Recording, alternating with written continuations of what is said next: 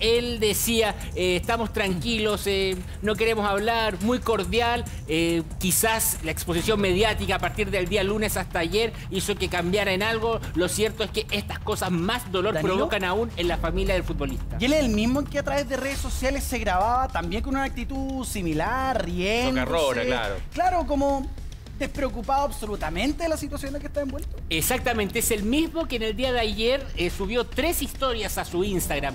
Eh, en primer lugar, sube una eh, en que está dentro del centro de justicia esperando en estas bancas que existen afuera de las salas de audiencia, esperando su turno para ingresar a la sala. Mientras está ahí, él se recuesta en estas bancas que existen ahí y dice lo siguiente.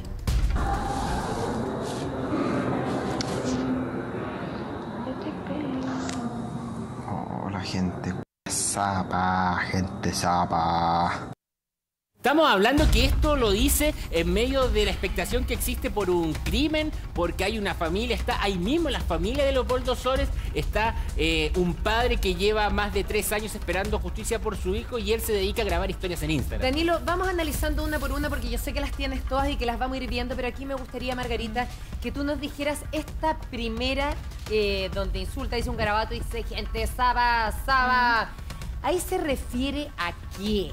crees tú? ¿Cómo lo lees? Porque uno podría decirlo, se refiere a los periodistas, se mm. refiere efectivamente a que tiene algo que ver con este crimen y alguien lo está sapeando. ¿Cómo lo lees tú? María Luisa, yo lo leo como que él está mandando un mensaje claramente a la prensa. O sea, él sabe que este tema ha causado interés y que él está haciendo, eh, de alguna forma, eh, todos están tratando de esclarecer qué realmente ocurrió y si él tuvo alguna participación en esto y él obviamente se siente bastante...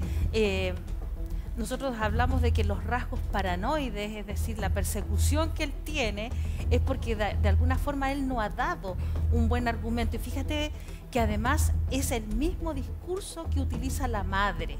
Es decir, que ellos estaban, para resumirlo, es decir, que ellos estaban en el lugar eh, no preciso, en el momento no indicado, y que por eso se habían vuelto, se habían puesto, visto envuelto en esta situación. Es el mismo discurso. ¿Y sabes qué? Yo también creo que ellos tienen muy buena asesoría comunicacional porque lo vamos a analizar cuando aparezcan los otros eh, videos. Margarita, pero te voy a preguntar porque el video está editado, el video viene con una grosería mm. eh, bastante fuerte y después él trata de explicarlo. A mí me da la impresión, y por eso te lo pregunto, que hay una cierta disociación entre el momento que él está viviendo, mm. como no tener clara conciencia de que se le está imputando eventualmente un crimen, y la reacción que tiene, porque eh, es una cuestión bien, bien extraña. Él está allí, no de testigo.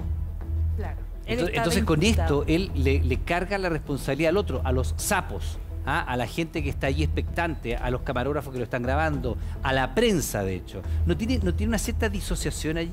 Claro, lo que pasa es que eh, en el mejor de los casos, Iván, nosotros estamos hablando de que ellos heteroculpabilizan. Los otros tienen las culpas, ellos no tienen ninguna responsabilidad en nada.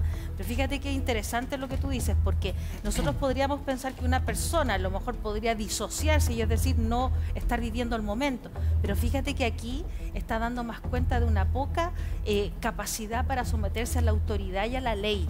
¿Por qué te lo digo? Porque además esto se corrobora, ayer Gino lo comentó también, ellos mientras estaban en la audiencia, el magistrado los tuvo que hacer callar porque ellos estaban comportándose de una manera también desafiante. Y de hecho, ese comportamiento que él tiene con el periodista es un comportamiento burlesco, aun mm. cuando él pueda negarlo, pero es burlesco porque él le dijo que se reía de su cara.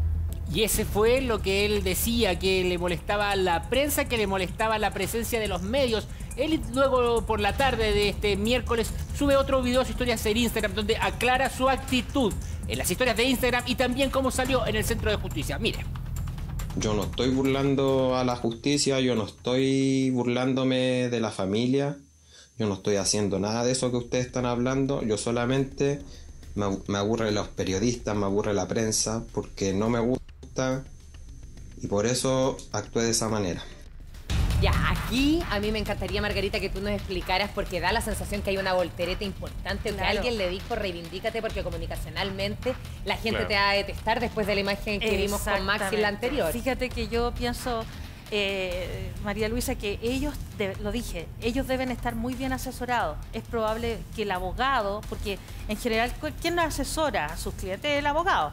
Y probablemente le haya dicho, esto es muy malo en términos comunicacionales, la prensa está, está detrás de sus pasos y por lo tanto él hace una negación, porque no se, o sea, él se burló y se lo dijo al periodista. Entonces él dice que no se estaba burlando, que él estaba molesto con los, y lo, lo vuelve a decir, con la prensa. Pero es una negación, es simplemente una negación porque el comportamiento ya está estipulado, está, él O sea, no es espontáneo lo que vemos en el último video. Para nada, eso es preparado. Y fíjate que además tiene una postura muy distinta a la postura con la que lo, lo hemos visto salir de tribunales, con la que lo hemos visto grabar otros videos y por lo tanto acá es más maqueteado, por así decirlo.